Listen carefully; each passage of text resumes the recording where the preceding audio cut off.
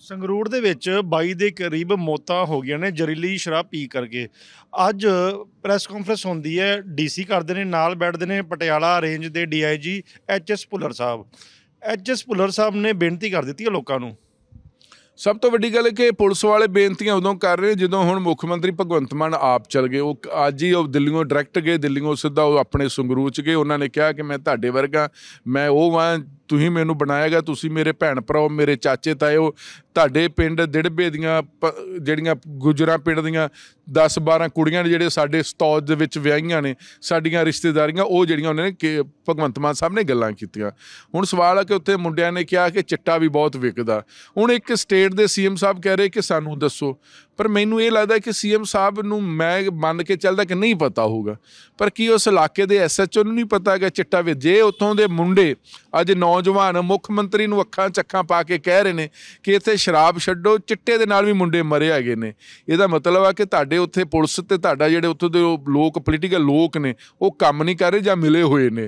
ਹੁਣ ਇੱਕ ਮੁੱਖ ਮੰਤਰੀ ਨੂੰ ਮੁੰਡੇ ਨੌਜਵਾਨ ਪੁੱਛ ਰਹੇ ਦੱਸ ਰਹੇ ਨੇ ਤੇ ਹੁਣ ਉਸ ਤੇ ਕਾਰਵਾਈ ਹੋਣੀ ਚਾਹੀਦੀ, ਮੁੰਡਿਆਂ ਕੋ ਪੁੱਛ ਲੈਣਾ ਚਾਹੀਦਾ ਹੈਗਾ, ਪਰ ਡਰ ਦੇ ਲੋਕ ਬੋਲਦੇ ਵੀ ਨਹੀਂ ਕਿ ਹੋ ਸਕਦਾ ਕਿ ਉਹ ਇਸ ਕਰਕੇ ਨਾ ਪੁਲਿਸ ਨੂੰ ਦੱਸਿਆ ਹੋਵੇ ਕਿ ਪੁਲਿਸ ਵਾਲੇ ਅੱਜ ਕੱਲ ਕੀ ਕਰਦੇ ਨੇ, ਜਿਹੜੇ ਤਸਕਰ ਆ ਗਏ ਨੇ, ਉਹਨਾਂ ਨੂੰ ਗਾਂ ਦੱਸ ਦਿੰਦੇ ਪੁਲਿਸ ਤੇ ਇਲਜ਼ਾਮ ਲੱਗਦੇ ਨੇ, ਲੋਕੀ ਕਹਿੰਦੇ ਨੇ। ਹੁਣ ਉਸ ਮਸਲੇ ਦੇ ਵਿੱਚ ਅੱਜ ਸੀਐਮ ਸਾਹਿਬ ਗਏ ਨੇ, ਲੋਕਾਂ ਨੂੰ ਮਿਲੇ ਨੇ, ਦੋ- ਲੋਕਾਂ ਦੇ ਦਰਦ ਦੇ ਵਿੱਚ ਉਹਨਾਂ ਨੇ ਦਰ- ਉਹਨਾਂ ਨੂੰ ਹੌਸਲਾ ਦਿੱਤਾ, ਦਿਲਾਸਾ ਦਿੱਤਾ।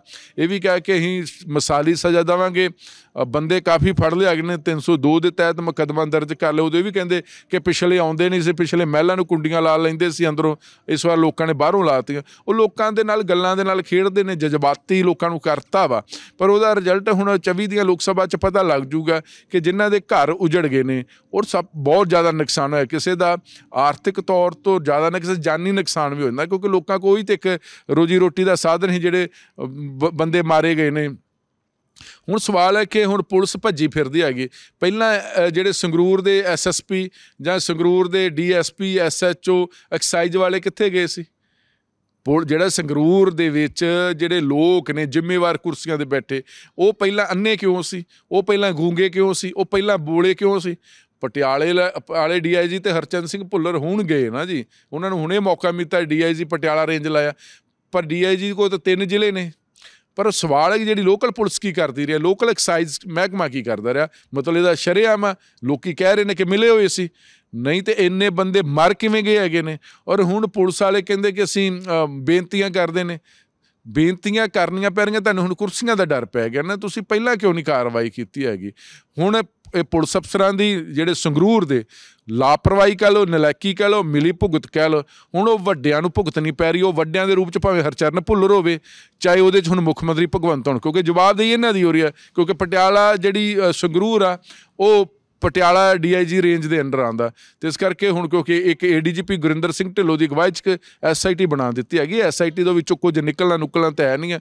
ਪੁਲਿਸ ਵਾਲਿਆਂ ਨੇ ਜਿੰਨਾ ਪਹਿਲੀਆਂ ਐਸਆਈਟੀ ਬਣੀ, ਉਹਨਾਂ ਨੇ ਕੀਤਾ ਕੀ ਹੈ? ਕੁਝ ਨਹੀਂ ਕੀਤਾ ਹੈਗਾ। ਹੁਣ ਸਵਾਲ ਇਸ ਮਸਲੇ 'ਚ ਇਹ ਹੀ ਆ, ਲੋਕਾਂ ਨੂੰ ਖੁਦ ਅੱਗੇ ਆਉਣਾ ਚਾਹੀਦਾ ਹੈਗਾ ਕਿ ਜਿਹੜੇ ਲੋਕਾਂ ਨੇ दारू ਪੀਤੀ ਉਸ ਬ੍ਰਾਂਡ ਵਾਲੇ, ਲੋਕਾਂ ਨੂੰ ਆਪ ਪ- ਦਾਖਲ ਹੋ ਜਾਣਾ ਚਾਹੀਦਾ ਹੈਗਾ। ਲੋ- ਸਰਕਾਰ ਤੇ ਵੀ ਜਿੰਨਾ ਤੁਹਾਨੂੰ ਭਰੋਸਾ ਹੈਗਾ, ਉਸ ਭਰੋਸੇ ਦੇ ਹਿਸਾਬ ਨਾਲ ਦੇਖ ਲਓ। ਪਰ ਹੁਣ ਇਸ ਟਾਈਮ ਸਾਰੀਆਂ ਸਭ ਤੋਂ ਵੱਧ ਆ ਜਾਨਾਂ ਬਚਾਉਣ ਦੀ ਗੱਲ ਆ।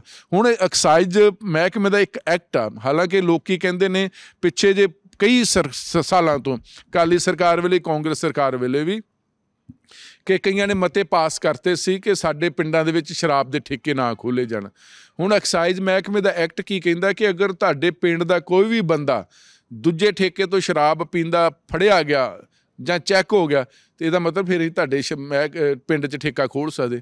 ਹੁਣ ਐਡਾ ਗੰਦਾ ਐਕਟ ਐਡਾ ਭੈੜਾ ਐਕਟ ਐਡਾ ਕਰਤੂਤੀ ਐਕਟ ਉਹਦੇ 'ਚ ਅਮੈਂਡਮੈਂਟ ਕਰੋ। ਜਦ ਇੱਕ ਪੰਚਾਇਤ ਕਹਿ ਰਹੀ ਆ ਕਿ ਸਾਡੇ ਪਿੰਡ 'ਚ ਸ਼ਰਾਬ ਦਾ ਠੇਕਾ ਖੁੱਲ੍ਹਣਾ ਨਹੀਂ ਚਾਹੀਦਾ ਤੇ ਉਸ ਸ਼- ਪਿੰਡ ਦਾ ਬੰਦਾ ਭਾਵੇਂ 100 ਕਿਲੋਮੀਟਰ ਸ਼ਰਾਬ ਪੀ ਕੇ ਆਵੇ ਜਾਂ 200 ਕਿਲੋਮੀਟਰ ਪੀ ਕੇ ਆਵੇ ਚਾਹੇ 2 ਕਿਲੋਮੀਟਰ ਤੋਂ ਪੀ ਕੇ ਆਵੇ, ਤੁਸੀਂ ਉਹ ਪਿੰਡ 'ਚ ਕਿਉਂ ਠੇਕਾ ਖੋਲਦੇ ਨੇ?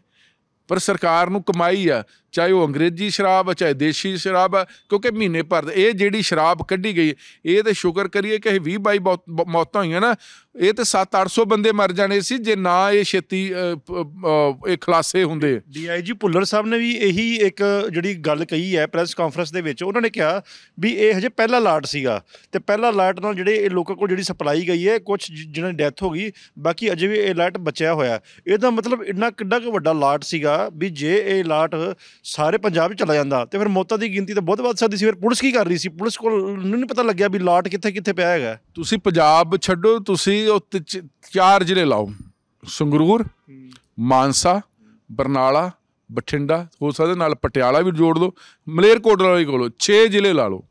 6 ਜ਼ਿਲ੍ਹਿਆਂ ਦੇ ਵਿੱਚ ਇੱਕ ਲਾਟ ਚਲਾ ਜਾਂਦਾ ਹੈਗਾ ਤੇ ਘੱਟੋ ਘੱਟ ਇੱਥੇ ਹਜ਼ਾਰ ਡੇਢ ਹਜ਼ਾਰ ਬੰਦਾ ਮਰ ਜਾਣਾ ਸੀ। ਜੇ 24 ਘੰਟਿਆਂ ਦੇ ਵਿੱਚ ਇੰਨੇ ਬੰਦੇ ਮਰ ਗਏ ਕਿ ਤੇ ਜਿੱਥੇ ਜਿੱਥੇ दारू ਚੱਲਦੀ, ਕਿਉਂਕਿ ਉਸ ਬੰਦੇ ਨੇ ਵੀ, ਉਹਦੇ ਬੰਦੇ ਦੇ ਉੱਪਰ ਹੱਥ ਵੱਡੇ ਲੋਕਾਂ ਦਾ। ਉਹ ਪੁਲਿਸ ਵਾਲੇ ਹੋ ਸਕਦੇ, ਉਹ ਐਕਸਾਈਜ਼ ਵਾਲੇ ਹੋ ਸਕਦੇ, ਉਹ ਸਿਆਸੀ ਲੀਡਰ ਹੋ ਸਕਦੇ। ਉਸ ਬੰਦੇ ਦੀ ਇੰਨੀ ਹੁ- ਹਿੰਮਤ ਤੇ ਯੁਰਤ ਤੇ ਉਹਦੀ ਔਕਾਤ ਐਡੀ ਵੱਡੀ ਨਹੀਂ ਹੋ ਸਕਦੀ ਜਦ ਤੱਕ ਉਹਦੇ ਸਿਰ ਤੇ ਹੱਥ ਨਾ ਹੋਵੇ। ਉਹਦੇ ਸਿਰ ਤੇ ਹੱਥ ਵੱਡਿਆਂ ਦੇ, ਉਹ ਪੁਲਿਸ ਫੜਨਾ ਨਹੀਂ ਚਾਹੁੰਦੀ ਤੇ ਨਾ ਪੁਲਿਸ ਦੀਆਂ ਲੱਤਾਂ ਦੇ ਵਿੱਚ ਜਾਣ ਹੈਗੀ ਆ। ਉਹਨੂੰ ਫੜ ਨਹੀਂ ਸਕਦੇ ਹੈਗੇ ਵੀ ਉਹਦੇ ਮਾਈ ਬਾਪ ਕੌਣ ਸੀ। ਹੁਣ ਜੇ 6 ਜ਼ਿਲ੍ਹਿਆਂ ਦੇ ਵਿੱਚ ਸ਼ਰਾਬ ਚਲੇ ਜਾਂਦੀ ਤੇ ਵੱਡੀ ਗਿਣਤੀ ਚ ਦ- ਹੋਣਾ ਸੀ। ਦਿਖਾਂਤ ਕਿਉਂਕਿ ਉਹਨੇ ਸ਼ਰਾਬ ਇੰਨੀ ਕੱਢਤੀ ਹੋਣੀ ਆ, ਇੰਨੀ ਵੇਚਣੀ ਕਿਉਂਕਿ ਲੋਕ ਸਭਾ ਚੋਣਾਂ ਨੇ ਔਰ ਸ਼ਰਾਬ ਤੇ ਪਿੰਡੋ ਪਿੰਡ ਵਿਕਦੀ ਆ। ਪਿੰਡੋ ਪਿੰਡ ਲੋਕਾਂ ਨੂੰ ਵੋਟਰਾਂ ਨੂੰ ਸ਼ਰਾਬ ਦੀਆਂ ਪੇਟੀਆਂ ਦਿੱਤੀਆਂ ਜਾਂਦੀਆਂ। ਤੇ ਉਹ ਜਿਹੜੇ ਚੌਧਰੀਆਂ, ਜਿਹੜੇ ਪਿੰਡਾਂ ਦੇ ਵਿੱਚ ਚੌਧਰੀ ਨਹੀਂ ਹੁੰਦੇ। ਨ- ਨਾਡੂ ਖਾਂ ਜਿਹੜੇ ਕਹਿੰਦੇ ਕਿ ਮੈਂ 200 ਵੋਟਾਂ ਪਾਉ ਮੈਂ 500 ਵੋਟਾਂ ਪਾਊਂ, ਉਹ ਉਹਨਾਂ ਦੇ ਘਰਾਂ ਜਾਣੀਆਂ ਸੀ ਦਾਰੂ। ਉਹਨੇ ਗਾਂ ਫਿਰ ਰਾਤ ਨੂੰ ਜਿਹੜਾ ਵੀ ਵਿਚਾਰਾ ਗਰੀਬ ਬੰਦਾ ਉਹਨੂੰ ਕਿਸੇ ਨੂੰ ਬੋਤਲ ਫੜਾਉਣੀ ਸੀ ਕਿ ਇਹਨੂੰ ਚਾਰ ਘੁੱਟ ਲਵਾ ਦੇਣੇ ਸੀ। ਤੇ ਇਹਦੇ ਬਹੁਤ ਵੱਡਾ ਦਿਖਾਂਤ ਹੋਣਾ ਸੀ ਇਹ ਤੇ ਆ ਦਿੜਬੇ ਹਲਕਾ ਜਿਹੜਾ ਹਰਪਾਲ ਸਿੰਘ ਚੀਮਾ, ਜਿਹੜੇ ਐਕਸਾਈਜ਼ ਮਹਿਕਮੇ ਨੇ, ਅੱਜ ਵੀ ਉਹ ਉਦੋਂ ਗਏ ਨੇ, ਡਰਦੇ ਡਰਦੇ ਗਏ ਨੇ ਕਿਉਂਕਿ ਮੁੱਖ ਮੰਤਰੀ ਚਲਾ ਗਿਆ। ਕਿਉਂਕਿ ਮੁੱਖ ਮੰਤਰੀ ਦੇ ਨਾਲ ਸਿਕਿਉਰਿਟੀ ਇੰਨੀ ਜ਼ਿਆਦਾ ਸੀ, ਵਿਚਾਰੇ ਲੋਕ ਬੋਲ ਨਹੀਂ ਸਕੇ। ਤੇ ਇਸੇ ਕਰਕੇ ਹਰਪਾਲ ਚੀਮਾ ਕਹਿੰਦਾ ਹੋਊਗਾ ਕਿ ਮੇਰਾ ਹਲਕਾ ਮੈਂ ਵੀ ਚਲਾ ਜਾਂਦਾ। ਨਹੀਂ ਤੇ ਉਹ ਡਰ ਰਹੇ ਸੀ, ਪਿਛਲੇ 4 ਦਿਨ ਤੋਂ ਡਰ ਕੇ ਬੈਠੇ ਹੈਗੇ ਸੀ ਕਿ ਕਿਤੇ ਪੰਗਾ ਨਾ ਪੈ ਜਾਏ, ਲੋਕੀ ਵਿਰੋਧ ਘੇਰ ਲਏ ਨੇ। ਤੇ ਜੇ ਵੱਡਾ ਦਿਖਾਂਤ ਹੋ ਜਾਂਦਾ ਤੇ ਮੈਨੂੰ ਲੱਗਦਾ ਫਿਰ ਮੁੱਖ ਮੰਤਰੀ ਵੀ ਕਿਸੇ ਹਲਕੇ 'ਚ ਵੜਨ ਜੋਗੇ ਸੀ, ਨਹੀਂ ਰਹਿਣੇ। ਜੇ ਐਡਾ ਵੱਡਾ ਦਿਖਾਂਤ, ਜਾਂ ਪੁਲਿਸ ਮੰਨ ਮੰਨਦੀ ਆ। ਜੇ ਹਰਚਰਨ ਸਿੰਘ ਭੁੱਲਰ ਸਾਹਿਬ ਕਹਿ ਰਹੇ ਨੇ ਕਿ ਇਹ ਲਾਟ ਪਹਿਲਾ ਸੀ, ਤੇ ਜੇ ਕਿਸੇ ਲਾਟ ਦੇ ਲਾਟ ਚਲੇ ਜਾਂਦੇ ਫਿਰ ਤਾਂ ਬਹੁਤ ਵੱਡਾ ਦਿਖਾਂਤ ਫਿਰ ਇਹ ਜਿਹੜੇ 92 ਐਮਐਲਏ ਨਾ, ਫਿਰ ਇਹਨਾਂ ਨੇ ਡਰਦਿਆਂ ਨੇ ਘਰੋਂ ਬਾਹਰ ਨਹੀਂ ਸੀ ਨਿਕਲਣਾ ਹੈਗਾ। ਇਹਨਾਂ ਨੂੰ ਘਰੋਂ ਅੰਦਰੋਂ ਤਾਲੇ ਲਾਉਣੇ ਪੈਣੇ ਸੀ ਕਿ ਕਿਤੇ ਲੋਕ ਸਾਨੂੰ ਕੁੱਟਣ ਨਾ। ਜਿਹੜਾ ਗੋਲਡੀ ਬਰਾੜ ਹੈ, ਉਹ ਤਾਂ ਚਲੋ ਬਾਹਰ ਬੈਠਾ ਹੈ, ਉਹਨੂੰ ਤਾਂ ਪੁਲਿਸ ਲਿਆ ਨਹੀਂ ਪਾਈ ਇੱਥੇ। ਜਿਹੜਾ ਬੰਦਾ ਇੱਥੇ ਬੈਠਾ ਹੈਗਾ, ਜਿਹੜਾ ਇਹਦਾ ਕਿੰਗ ਕਿੰਗਪਿਨ ਹੈ, ਉਹਨੂੰ ਪੁਲਿਸ ਹੱਥ ਕਿਉਂ ਨਹੀਂ ਪਾ ਰਹੀ ਹੈਗੀ? ਨਹੀਂ, ਹੌਲੀ ਹੌਲੀ ਇੱਕ ਇਸੇ ਕਰਕੇ ਤੇ ਡਰਾਮੇ ਹੋ ਗਏ ਨਾ ਹੁਣ ਐਸਆਈਟੀ ਇੱਕ ਦੋ ਕਮੇਟੀਆਂ ਬਣ ਗਈਆਂ ਹੈਗੀਆਂ। ਹੁਣ ਸਵਾਲ ਹੈ ਕਿ ਜਦੋਂ ਕਮੇਟੀਆਂ ਬਣ ਜਾਂਦੀਆਂ, ਭੰਬਲ ਪੂਸੇ ਸ਼ੁਰੂ ਹੋ ਜਾਂਦੇ ਹੈਗੇ ਨੇ। ਪਰ ਦੇਖਦੇ ਆ ਕਿ ਕਿ ਚੋਣਾਂ ਨੇ ਮੁੱਖ ਮੰਤਰੀ ਭਗਵੰਤ ਮਾਨ ਨੇ ਖੁਦ ਲੋਕਾਂ ਨੂੰ ਭਰੋਸਾ ਦਿੱਤਾ। ਉਹਨਾਂ ਦਾ ਕਿਉਂਕਿ ਆਪਣਾ ਹਲਕਾ, ਉਹਨਾਂ ਦਾ ਆਪਣਾ ਜ਼ਿਲ੍ਹਾ ਹੈਗਾ। ਉਹਨਾਂ ਨੇ ਵਾਸਤਾ ਪਾਇਆ ਹੈਗਾ ਕਿ ਮੈਂ ਬੱਚਿਆਂ ਨੂੰ ਮੈਂ ਪੜਾਵਾਂਗਾ ਸਭ ਕੁਝ। ਜੋ ਪੋਲੀਟੀਕਲ ਤੌਰ ਤੇ ਜਾਂ ਇੱਕ ਜੋ ਮੁੱਖ ਮੰਤਰੀ ਕਹਿ ਸਕਦਾ, ਉਹ ਕਹਿ ਰਹੇ ਨੇ। ਪਰ ਉਹ ਸਵਾਲ ਇਸ ਕਰਕੇ ਕਿ ਉਹੀ ਹੀ ਹੈ ਕਿ ਆਖਿਰ ਜਿਹੜੇ ਬੰਦੇ ਨੇ ਸ਼ਰਾਬ ਬਣਾਈ ਆ ਜਿਹੜੀ ਹੁਣ ਵੱਖ-ਵੱਖ ਥਿਊਰੀਆਂ ਆ ਰਹੀਆਂ ਵਾ, ਉਹਦਾ ਮਾਈ ਬਾਪ ਕੌਣ ਆ? ਕਹਿੰਦੇ ਨੇ ਕਿ ਚੋਰ ਨੂੰ ਨਾ ਫੜੋ। ਚੋਰ ਦੀ ਮਾਂ ਨੂੰ ਫੜੋ। ਹੁਣ ਚੋਰ ਤੇ ਫੜ ਲਿਆ ਚੋਰ ਦੀ ਮਾਂ ਕਿਹੜੀ ਹੈਗੀ ਹੈ ਇਹ ਪੁਲਿਸ ਨੂੰ ਜਿਹੜੇ ਏਡੀਜੀਪੀ ਬਣਾਏ ਨੇ, ਗੁਰਿੰਦਰ ਸਿੰਘ ਢਿੱਲੋਂ, ਉਹਨਾਂ ਨੂੰ ਫੜਨ ਦੀ ਲੋੜ ਆ। ਉਸ ਗੁਰਿੰਦਰ ਸਿੰਘ ਢਿੱਲੋਂ ਸਾਹਿਬ ਦੇ ਨਾਲ ਡੀਆਈਜੀ ਹਰਚੰਦ ਸਿੰਘ ਭੁੱਲਰ ਨੇ ਐਸਐਸਪੀ ਸੰਗਰੂਰ ਸਰਤਾਜ ਸਿੰਘ ਚਾਲ ਨੇ, ਐਕਸਾਈਜ਼ ਮਹਿਕਮੇ ਦੇ director, joint director Naresh Dubey ਨੇ, ਇੱਕ ਦੌਰੇ ਪੰਜ ਜਾਣਿਆਂ ਨੇ। ਇਹ ਪੰਜ ਜਾਣਿਆਂ ਨੇ ਚੋਰ ਨੂੰ ਨਹੀਂ ਚੋਰ ਦੀ ਮਾਂ ਨੂੰ ਫੜਨਾ ਹੈਗਾ। ਤੇ ਜੇ ਚੋਰ ਦੀ ਮਾਂ ਨੂੰ ਫੜ ਗਏ, ਤੇ ਫਿਰ ਲੋਕੀ ਭਰੋਸਾ ਕਰਨਗੇ। ਪਰ ਜੇ ਚੋਰ ਦੀ ਮਾਂ। ਇਹਨਾਂ ਵਿੱਚੋਂ ਕਿਸੇ ਦੀ ਆਪਣੀ ਨਿਕਲ ਕਿ ਸਰਕਾਰ ਦੇ ਨਾਲ ਹੀ ਕਿਸੇ ਦਾ ਸਬੰਧ ਹੋਇਆ ਤੇ ਫਿਰ ਇਹ ਸਾਰਿਆਂ ਨੂੰ ਬੈਕਫੁੱਟ ਆਉਣਾ ਪਊਗਾ। ਫਿਰ ਪੁਲਿਸ ਪਰਦਾ ਪਾਉਣਾ ਸ਼ੁਰੂ ਕਰ ਦੂਗੀ ਲੇਕਿਨ ਅ, ਇੱਕ ਇਨਸਾਨੀਅਤ ਦੇ ਤੌਰ ਤੇ ਔਰ ਇੱਕ ਜ਼ਿੰਮੇਵਾਰ ਹੋਣ ਦੇ ਨਾਤੇ ਇਹ ਜਿਹੜੇ ਵੀ ਐਸਆਈਟੀ ਬਣੀਆਂ, ਇਹਨਾਂ ਨੂੰ ਚਾਹੀਦਾ ਕਿ ਲੋਕਾਂ ਨੂੰ ਇਨਸਾਫ ਮਿਲਣਾ ਚਾਹੀਦਾ ਕਿਉਂਕਿ ਪਹਿਲਾਂ ਵੀ 150 ਦੇ ਕਰੀਬ ਕਾਂਗਰਸ ਸਰਕਾਰ ਵਾਲੇ ਲੋਕ ਮਾਰੇ ਗਏ ਸੀ, ਕਿਸੇ ਨੂੰ ਇਨਸਾਫ ਨਹੀਂ ਮਿਲਿਆ ਸੀ। ਤੇ ਹੁਣ ਕਿਉਂਕਿ ਤੁਸੀਂ ਇਹ ਬੰਦੇ ਮਾਰ ਕੇ ਤੇ ਬੰਦੇ ਮਰਵਾ ਕੇ ਬਾਅਦ ਚ 5-5 ਲੱਖ ਰੁਪਈਆ ਦੇ ਕੇ ਉਹ ਗੱਲ ਨਹੀਂ ਬਣਦੀ।